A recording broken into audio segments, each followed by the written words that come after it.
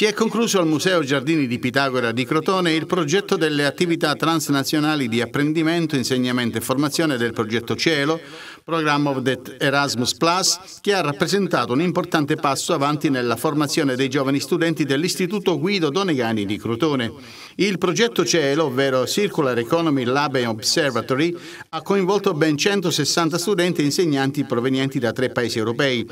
Il progetto è stato guidato dalla dirigente scolastica Laura Laurendi che ha fatto della sostenibilità dell'economia circolare uno dei pilastri della missione della scuola crotonese. Tutte le buone pratiche, le buone prassi eh, acquisite e tutti i prodotti eh, utilizzati saranno adesso diffusi, eh, resi pubblici, ehm, non solo, ma condivisi con le altre comunità scolastiche in modo tale che docenti e studenti abbiano un terreno comune per utilizzare eh, nuove tecniche, nuovi eh, linguaggi e anche nuovi strumenti. Devo dire che noi dobbiamo avviare questa transizione eh, dalla didattica puramente trasmissiva a una didattica interattiva ed inclusiva. E queste sono le nuove metodologie che comunque eh, vengono indicate dal, eh, indica eh, da, dal Ministero eh, anche eh, in virtù del PNRR giornate bellissime, i ragazzi sono arricchiti nel vero senso della parola,